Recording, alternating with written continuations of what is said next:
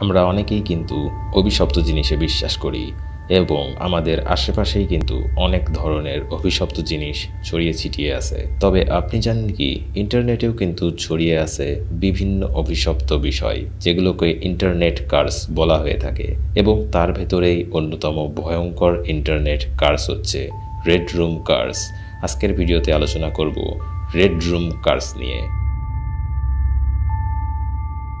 এখন ঘড়িতে টাইম ঠিক একটা বাজছে এবং এটাই কিন্তু সঠিক সময়। ইন্টারনেট কার্স নিয়ে কথা বলার জন্য। তো ডার্ক ওয়েবের কমন সকল ভিডিওতে বা এর আগে হয়তো আমরা রেড রুম সম্পর্কে জেনেছি বাট আমরা কি জানি এই রেড রুম কীভাবে শুরু হলো এবং এই রেড রুমের পেছনে কাহিনীটাই বা কি? ওয়েল তো জাপানের একটা ঘটনা থেকে কিন্তু রেড রুমের পুরো কাহিনীটাই ক্লিয়ার হওয়া যায়। জাপানে দুইটা বান্ধবী ছিল, তারা স্কুলে পড়াশোনা করত। আমি জানি না বাট কোনো একটা কারণবশত তাদের ভেতরে একজন খুব বেশি হিংসুটে ছিল এবং সে সবসময় অপরজনের ক্ষতি করার চেষ্টা করত। তো এরই মাঝে কোনো একটা কারণবশত সেই মেয়েটি তার ফ্রেন্ডকে অর্থাৎ কিনা তার বান্ধবীকে কিন্তু খুন করে ফেলে। আর ঘটনাটার শুরু কিন্তু এইভাবেই হয়ে থাকে।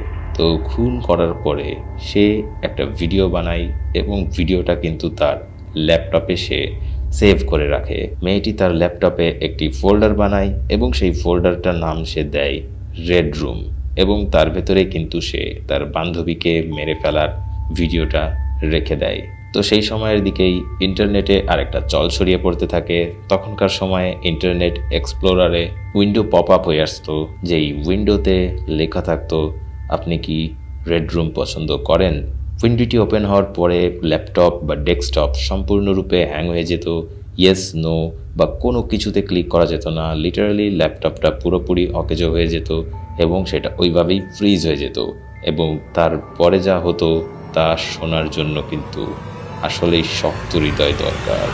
যখন যখন ওইভাবে উইন্ডোটা ওপেন হয়ে ফ্রিজ হয়ে থাকতো ল্যাপটপটা বা ওই রুমে থাকা যেই লোকটা সেটি ব্রাউজ করছিল তাকে পরে সবসময় মৃত পাওয়া যায়। এবং আরেকটা বিষয় খেয়াল করে দেখা যায়, এইভাবে যতজনই মারা যায় না কেন, তাদের রুমে দেখা গেছে তাদের সকল দেয়াল এবং সকল কিছু লাল রং হয়ে আছে। আর এভাবেই রেড রুম কার্স অভিশাপের কারণে অনেকেই সেই সময় প্রাণ হারায়। এরই মাঝে ঘটনা আরেকটা বারো বছর বয়সী ছেলের সাথে ছেলেটির বাবা ছেলেটিকে একটি পুরাতন পিসি কিনে দেওয়ার জন্য কথা বলে এবং ছেলেটির বাবা তাকে একটি পুরাতন ল্যাপটপ কিনে দেয়। ছেলেটি নতুন নতুন ল্যাপটপ পাওয়ার পরে সে বুঝতে পারে তার ল্যাপটপটি একটি সেকেন্ড হ্যান্ড ল্যাপটপ এবং সে সেকেন্ড হ্যান্ড ল্যাপটপ কি ফার্স্ট হ্যান্ড ল্যাপটপ সেটা নিয়ে কোনো মাথা ঘামায় না। সে তখন নতুন নতুন ল্যাপটপ হাতে পাওয়ার পরে খুশি হয়ে ল্যাপটপের সকল কিছু ঘাটাঘাটি শুরু করে। এবং সে ল্যাপটপটি বেশ কিছুদিন ঘাটাঘাটি করার পরে কিন্তু সে ইন্টারনেট কানেকশন পায়। সে তার খুশি মনে কিন্তু ইন্টারনেট সার্ফিং এবং ল্যাপটপটি ভালো মতোই ব্রাউজ করতে থাকে। একদিন সে ল্যাপটপটি চালানোর সময় ল্যাপটপের ভেতরে একটা ফোল্ডার চোখে পড়ে তার। ফোল্ডারটির নাম লেখা ছিল রেড রুম হ্যাঁ আপনি ঠিকই গেস করেছেন। এই ল্যাপটপটি কোনো ভাগ্যবশত সেই মেয়েটির ছিল, যে মেয়েটি কিনা তার স্কুল বান্ধবীকে মার্ডার করে এবং সেই ভিডিওটা কিন্তু ল্যাপটপেই রেড রুম নামের ফোল্ডারে রেখে দেয়। তো ফোল্ডারটা সেই বারো বছর বয়সী ছেলের সামনে আসে এবং সে কৌতূহল কৌতূহলবশতই কিন্তু ফোল্ডারটা ওপেন করে। বাট ফোল্ডারটা ওপেন করার পরে তার সামনে যা আসে, তা দেখে কিন্তু সে ঠিক থাকতে পারেনি। তো ফোল্ডারটা ওপেন করার পরে সেই ছেলেটি দেখতে পায়, ঠিক একইভাবে আরও বেশ কয়েকজনকে মার্ডার করার খুবই নৃশংস ভিডিও। এর কিছুদিন পরে সে যখন আবার ল্যাপটপে ইন্টারনেট সার্ভ করছিল, তখন তার সামনে রেড রুম কার্সের ঠিক একই ধরনের পপ আপ ওপেন হয়ে আসে, যেখানে লেখা ছিল, তুমি কি রেড রুম পছন্দ করো? ঠিক সেই সময়ে তার ল্যাপটপটিও হ্যাং হয়ে যায় এবং পরের দিন তাকে জীবিত উদ্ধার করা আর যায়নি। তো এই ঘটনার পরেও সেই ছেলেটির রুমের দেয়ালগুলা চারিদিকে লাল হয়েছিল এবং সিবিআই তখনকার সময় তদন্ত করে এই ঘটনাটা উদ্ধার করে।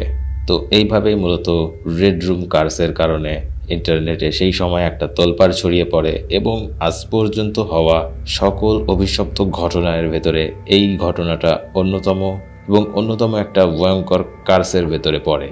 এর আগে ঘটনাটা না জেনে থাকলে এবং আজকেই এই কার্সটির ব্যাপারে প্রথমে শুনে থাকলে ভিডিওটিতে একটি লাইক দিবেন ভিডিওটি শেয়ার করে রাখুন আপনার বন্ধুদের সাথে, তাদেরও নতুন কিছু জানার সুযোগ করে দিন।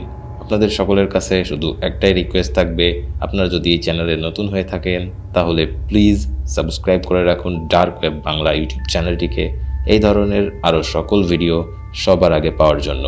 ডার্ক ওয়েবের যে কোনো বিষয় সম্পর্কে জানার জন্য নিচে কমেন্ট করুন, আপনার কমেন্টের উত্তর দেওয়ার চেষ্টা করব এবং আপনার টপিকে ভিডিও বানানোর চেষ্টা করব।